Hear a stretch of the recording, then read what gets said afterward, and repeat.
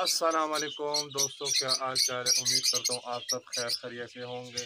आज हम कोमल लिटिनो और लव बर्ड के कॉलोनी के अंदर आ चुके हैं और रोज़ाना की तरह इनको दाना पानी डालेंगे। लेकिन वीडियो शुरू करने से पहले आपसे गुजारिश है कि हमारी चैनल मिनी व्लॉग ब्लॉगर को अगर सब्सक्राइबर नहीं किया तो इसको सब्सक्राइबर करें और वीडियो अच्छी लगती है तो वीडियो को लाइक किया करें। वीडियो शुरू करते हैं।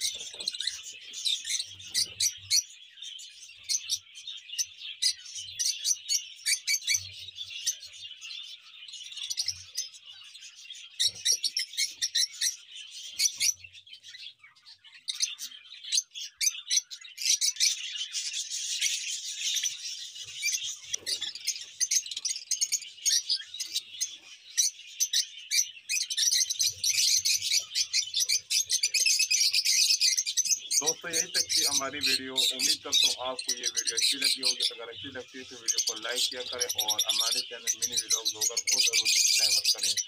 मिलते हैं अगले वीडियो के साथ, तब तक इजाज़त दीजिए। अल्लाह हाफ़